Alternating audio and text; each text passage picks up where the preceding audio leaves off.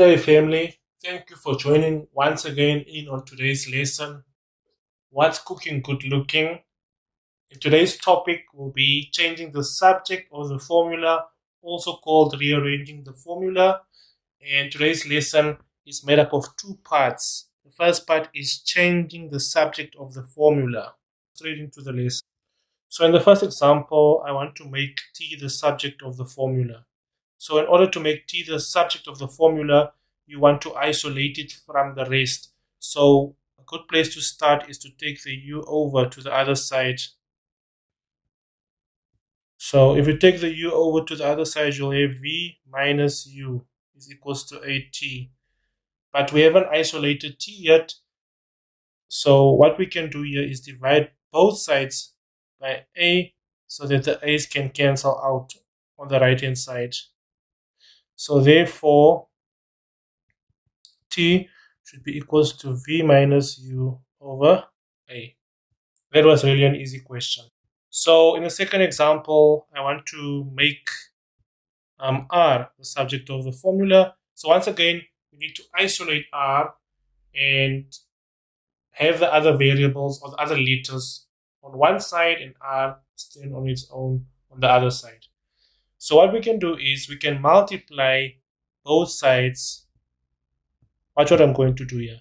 I'm going to multiply the left and the right hand side by v over t.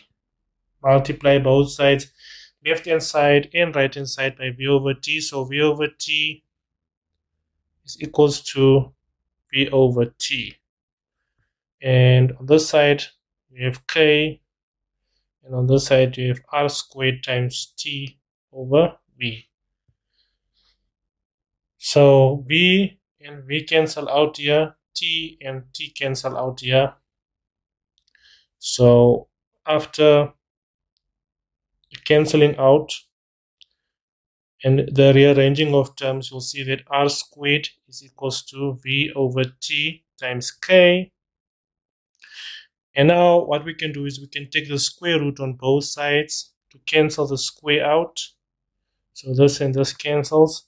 So it implies that r should be equals to the square root of v over t times k.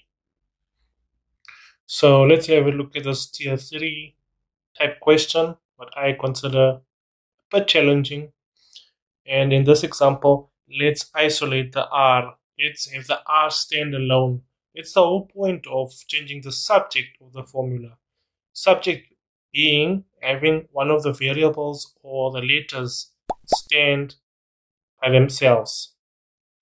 So in this case, what I would recommend is to always get rid of the surd and the opposite or the inverse of, uh, not the inverse, but the operator that cancels out the surd in all cases is usually the square.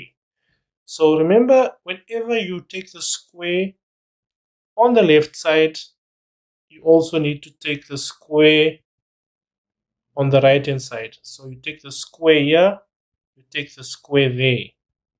So this square and this square root cancel out. So therefore, t squared is equals to a plus pi r squared. And then you need to take the a that side. So therefore, we will get t squared minus a is equals to pi r squared. Divide both sides by pi.